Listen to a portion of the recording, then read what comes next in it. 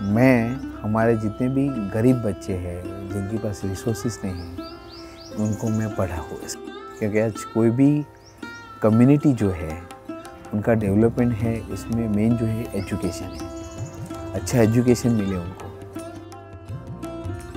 कच्छ में से माइग्रेंट होके करीबन 250 से 300 फैमिली लगभग 50 साल पहले आए यहाँ पे। तो हमने उनके बच्चों को पढ़ाने के लिए वहाँ हमने क्लासेस शुरू किए। करीबन 20 गाँवों में हम बाल संस्कार केंद्र चलाते हैं, जिसमें करीबन 700 स्टूडेंट्स पढ़ते हैं। उस बच्चों को हम इंग्लिश साइंस और मैथ्स का हम उनको ट्यूशन देते हैं। उनके साथ मड़का गेम्स और पेंटिंग वो सब कोरकुलम एक्टिविटी भी इनके साथ करते हो। तो हमने यहाँ पे दो कोऑपरेटिव्स बनाए हुए हैं वीमेंस कॉपरेटिव है, जिसमें करीबन 2500 वीमेंस जुड़ी हुई है।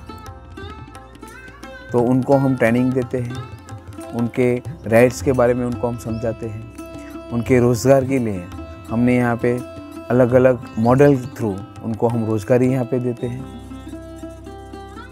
तो हम इस वीडियो के माध्यम से हम आपको, हम रिक्वेस्ट करते हैं, ज़्यादा से ज़्यादा लोग हमारे इस कार्य में जुड़े और आप भी योगदान दीजिए आप भी मदद कीजिए।